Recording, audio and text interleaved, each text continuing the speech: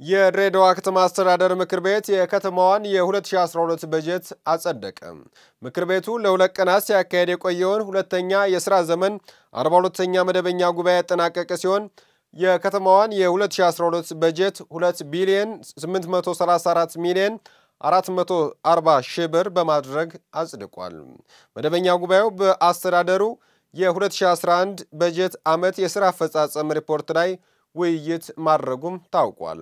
በጉባኤው ማጠናቀቂያ ምክር ቤቱ ለሴቶች ሕፃናትና ወጣቶች ቢሮ ኃላፊነት በእጩነት የቀረቡትን የወይዘሮ ከሪማ አሊን ሹመት አጽድቋል።